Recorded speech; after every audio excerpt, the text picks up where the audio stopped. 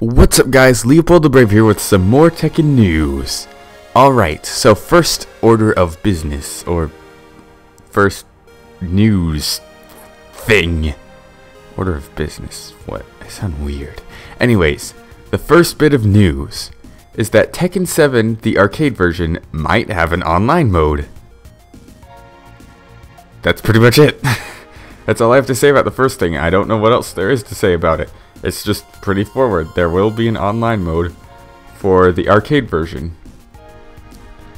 So you can play people at other arcades maybe. That's probably how it works. I'm not sure.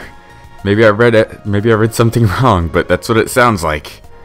Next is the console release for Tekken 7.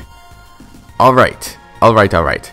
Harada says that he will not do a console version until he believes that the arcade version is polished enough, which means it may take a while before we get a console version. Maybe we'll get one mid 2016 or early 2016. It shouldn't take too long, but it will be a while.